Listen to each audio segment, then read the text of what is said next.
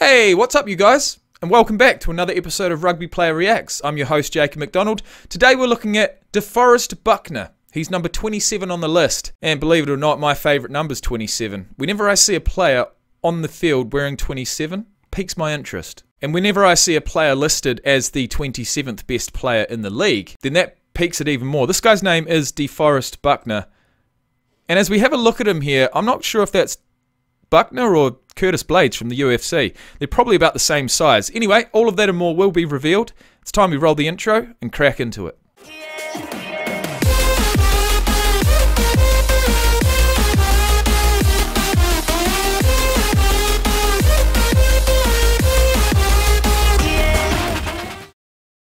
All right. It's coming. I'm hitting his ass.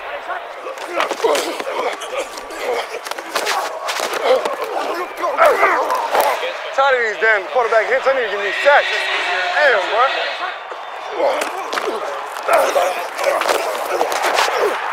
And he got one. Well, call it half a sack. Let's go, man.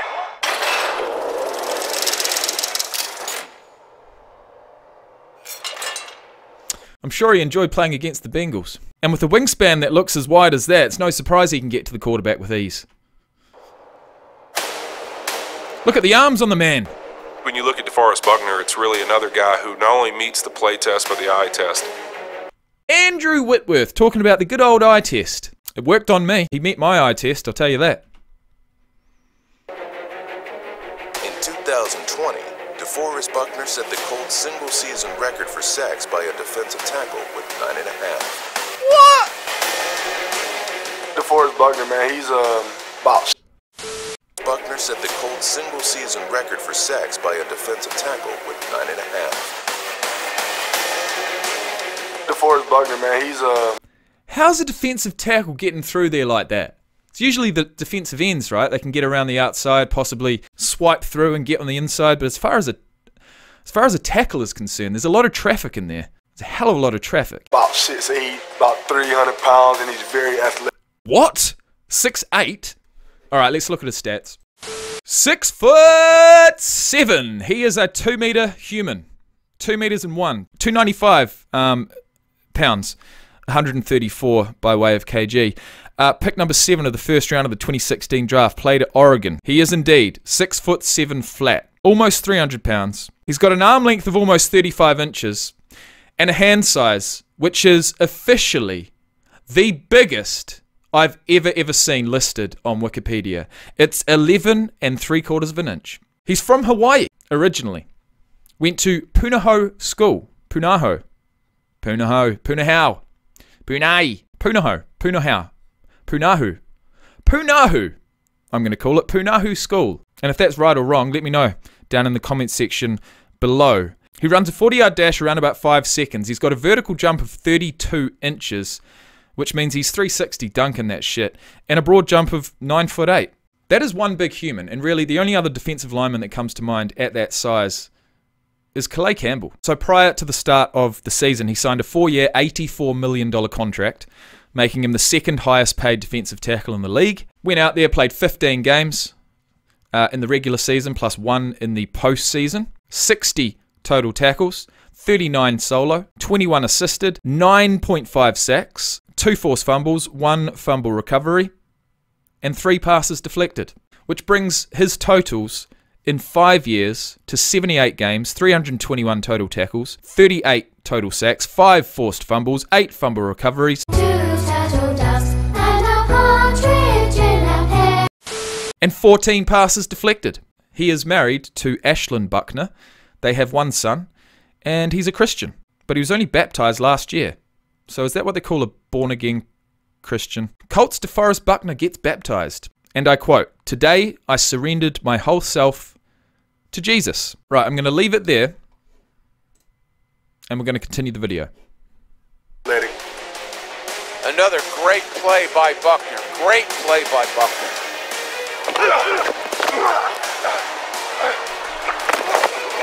It's pretty amazing to see a guy that size, really with that athleticism.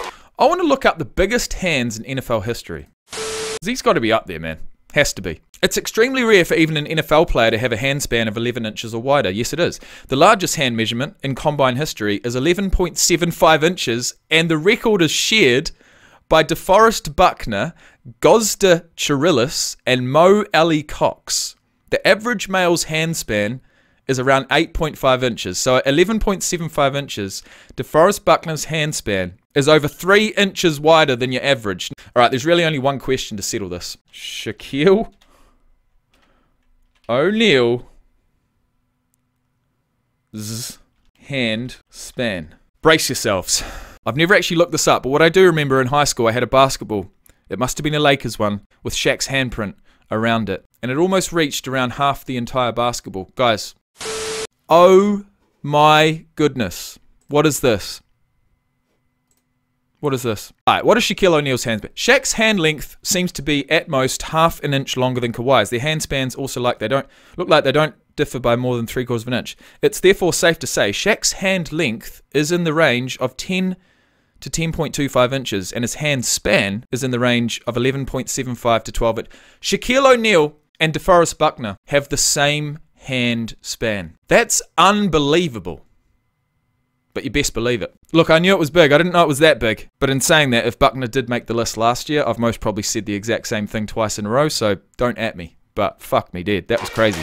In his first season with the Colts, number 99 was named first team All Pro and is the second ranked defensive tackle on the list. Wow. I just deja vu. He's been all over Watson here early. I remember the play against the Vikings where he just His arms are just so long and his hands are so big, right? So he's just he's gonna fuck he's gonna he's gonna grip on with those fucking fingers. I'd hate to think how thick his fingers are. Grips on, he's not gonna let go, is he? threw the offensive guard like he was a little kid. And can you imagine an 11.75 inch hand clenched as a fist? Now that's gonna be something else. It's gonna be like a bowling ball. He that right guard to the I cleaners like that. there. It's one thing when the ends come around high, but when you get that push up the middle, it makes uh, quarterback very uncomfortable. Exactly. That's what I referred to at the start, right? So it's one thing for the ends to come around the outside, but for someone to, to be consistently pushing through the middle, I mean, what are you going to do? If your offensive line is not up to par, you're fucked. Excuse my language. There's certain guys uh, like DeForest that you just feel across the ball from you. Just their physical presence, the push they get. Come on, let's get off the field. Let's get the route. Let's get the route. DeForest Buckner, Buckner, got caused it. the fumble. Buckner got it. Every How on earth did you do that? DeForest Oh, yeah. No surprises. There's a hand in there. caused the fumble. Buckner got it. Every time you need a play, he makes it. DeForest Buckner recovered the football. There's no such thing as one-on-one block to him. With him on the field, the Colts give up three yards per carry. When he's off the field, it's over. Look at this. With him on Look at that. That is that is a long the arm. field, the Colts give up. Look at this. There's no such thing as one-on-one block to him. Look at this him extension. Look at that, bro. Now, what makes Buckner dominant in this particular moment is that he's got that slight edge as far as arm length, right, and hand size, which means that he's on the inside of the arm. He's he's around the chest area, whereas his opposite man has only been able to grab onto the back of his shoulder. So what that means is that Buckner has the inside. He's got the upper hand, literally. He's got the inside, and all he needs to do is keep that arm outstretched, keep a wee bit of distance between him and 68, and he's got it over him. The field, the Colts give up three yards per carry. When he's off the field, it's over five yards per carry. Guards that lunge at him, he almost, you know, like Houdini's them and jumps around him or pulls himself through.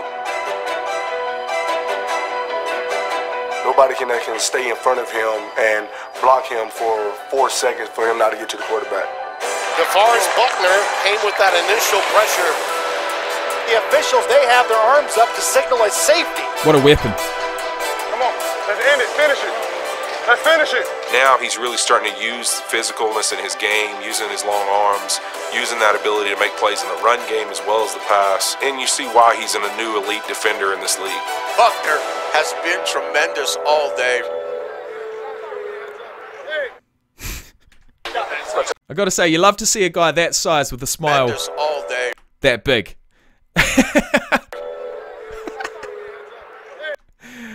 Tell you what, man. You think DeForest Buckner's big? Who the hell is that sitting next to him? Wow, we the Colts have certainly got some linemen, don't they? And with that in mind, it's time we crack into the next video. It's a running back. His name's Nick Chubb. Actually, no, that's a lie. It's Bradley Chubb. Nick Chubb's his cousin. So he's a running back for the Browns. He wears number 26, and that should be a winner. But for now, I hope you guys enjoyed. I certainly enjoyed that one. It's always good when you find like a real, re- like a, like a, you know, a crazy stat or a crazy record, something that you just didn't expect for a certain player, and something like really springs out at you, like that hand size. I mean, I guess that just happens when you're reading so many Wikipedia pages. So, anyways, hope you enjoyed. Like I said, uh, head down into the description box below to check out today's exclusive video sponsor. And with all that being said, I'll see you in the next one. Peace out, guys.